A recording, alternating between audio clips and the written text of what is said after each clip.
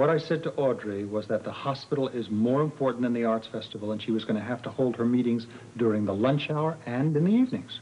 I see.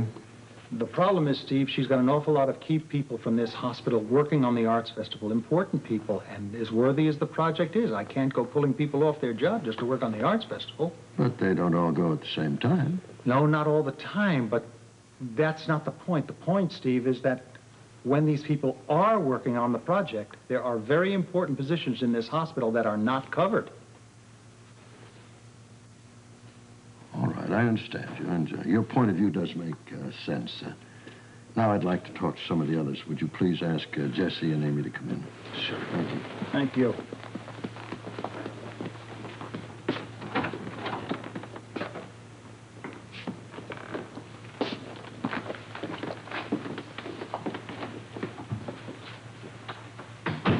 Thank you for coming. Please sit down. Now, would you mind telling me what's been going on? The Sure, basic problem Alan's is that become the a administrators dictator. had no Oh, technical... hold, hold it a minute. Hold it a minute. One at a time, please. Jesse? Well, I, uh, I don't think that the problems had anything to do with the functional changes Alan made. I really don't. I mean, he was the boss and he called the tune. But when you come to procedural changes, they're compounded, the problems are compounded by an administrator who has no tact. Easy, easy on the comparisons, Jesse. He was overbearing, Steve, with every change he made, every improvement he tried to make. You did say improvement. Improvement in his opinion, that is. And as far, as far as Audrey goes, well, we all know that she's perfectly capable of doing a job here beautifully and taking on a difficult outside project. That's true enough. And the nurses, Steve. Don't forget the nurses. Nobody's better with them than Audrey. That's Nobody. very, very true. I mean, that's the most important part. General Hospital needs Audrey. We all do. You don't have to tell me that, Jesse. I think uh, you're going to have a very difficult decision to make.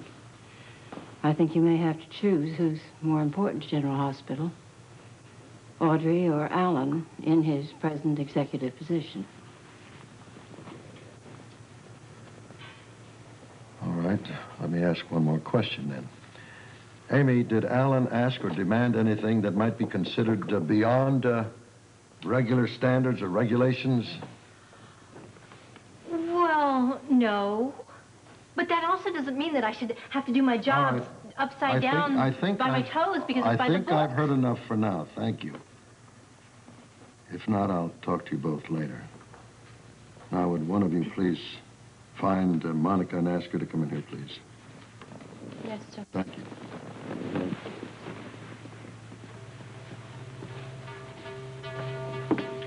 Jesse, this is so unfair. He doesn't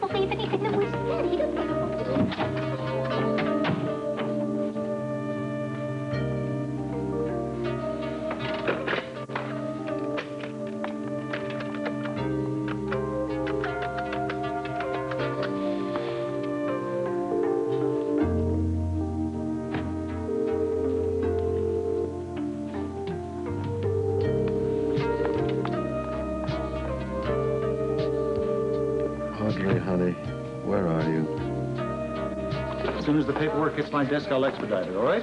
Alan, that's a lot of forms. Well, you'd better get started then, hadn't you?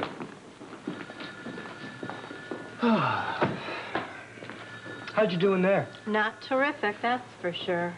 It doesn't matter. It Doesn't matter. Steve will get to the bottom of this. Yeah, I hope so. Nurse Olmsted, report to admission. Ah!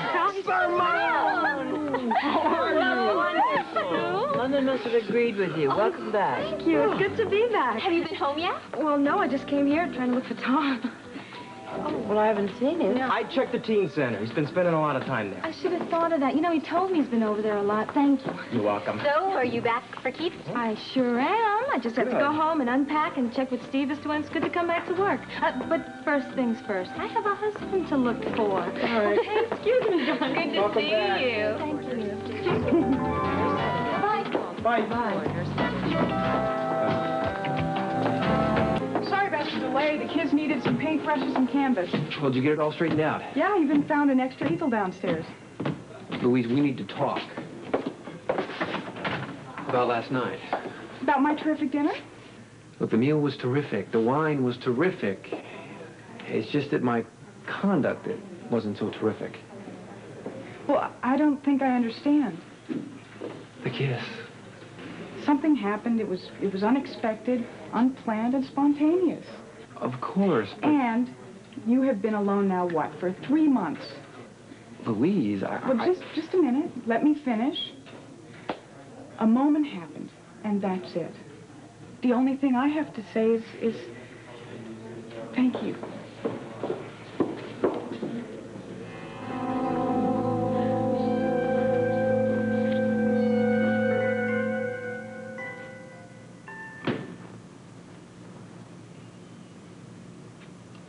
There is no need for the gun, Mr. Donnelly. If we wished you dead, you'd be dead. Now, Mr. Donnelly, why is this LeBlanc, or whoever he is, so important to you? Because I believe, as you well know, that he was the last man to contact Frisco Jones. And who is this Mr. Jones? He was an agent for the WSB. Oh, you are with the WSB. No, I used to be. People seem to forget that now and then. Been out of it for a while. The point is, Frisco was assigned to gather information about a certain terrorist group. But before he could turn that information over to the WSB, the terrorists found out about it and been trying to retrieve it ever since. And how does that involve CNL Bell? Because I think Frisco hid the information in the music box. The same music box that you manufactured for him. Making music boxes and spying aren't exactly the same thing, Mr. Donnelly. You seem to know more about that music box than I do, and I want to know exactly what you know. Because those same terrorists are threatening the life of Felicia Jones, who is a friend of mine. Well, she's not, however, a friend of mine. If you really did help Frisco send that information out in the music box, then you're as interested as I am in keeping it out of the hands of the terrorists. So could we please condense this little discussion of ours and get on with our business? Which is? Getting that information back to the people it was intended for, the WSB. Assuming you had that information, who would you give it to at the WSB? That's a tough one, I'm not sure. But I better explain that statement. Does the name James Kinley mean anything to you? Go on. I was with him when he died. Or should I say, when he was killed. I'm convinced he was going to give me the name of a, of a double agent. But they killed him before I was able to find out who it is. Mr. Donnelly, would you please move back to the music box and the car?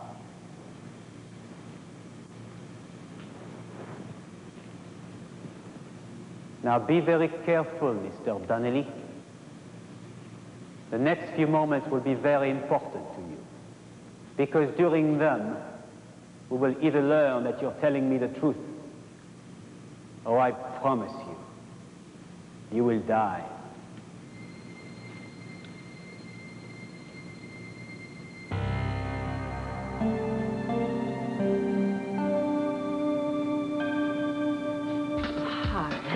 Um, I would like a film developed. I've got it right. All right, let me just get the form. The name, please? Uh, Marshall? Jennifer Marshall? Where do artists? Um, could this be ready by tomorrow? I can mark it rush. It'll cost you extra, though. Oh, that's okay. Have you had good luck with the camera? Oh, it's the first time I've used it, actually. I just made some tests. Anything else I can get you? No, thanks. All right. The print should be in by midday tomorrow. Okay, great. Thank you very much. Bye-bye.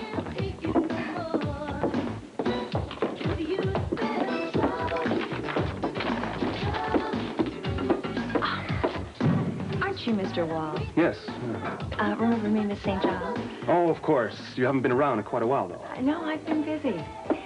You know, I thought I saw someone that I know standing here a moment ago. Uh, long dark hair. Jennifer Marshall. Yes, Marshall. You know, you should treat her well. She's the wife of the owner of Club Duke. Oh, thanks for the tip. She's a nice lady. She's been testing out a new camera and just brought in a film for development. Oh, that's very interesting. I, I didn't know she was interested in photography. Well, maybe she's just starting. Probably. Well, don't mention that I asked about her. She probably doesn't want anyone to know she is. Mum's the word. Well, I have some film of my own to be developed. Um, would you believe I've forgotten it? Ah, don't we all? Well, I'll come back again. All right, bye-bye. So, Mr. Donnelly, you believe there is a mole, an informer for the terrorists within the WSB? I believe that Kinley knew who it was. Now, I'd like to know what you think. If I didn't consider it likely, I would deal with them directly. He was your only secure contact, wasn't he? You're a professional, Mr. Donnelly. You know the ropes. It seems like we're going to be doing business after all. I have some further information for you. Only after I'm sure that, that you're the man I'm looking for.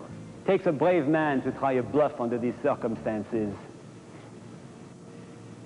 But I believe you're being straight with me.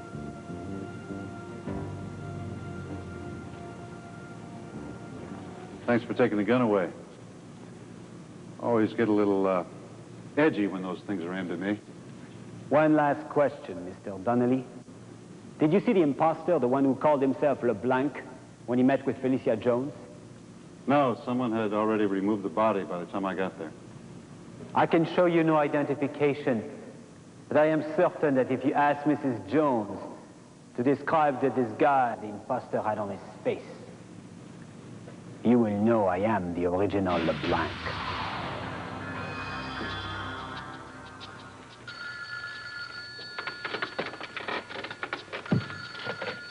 Yeah. Put the machine on automatic and come inside.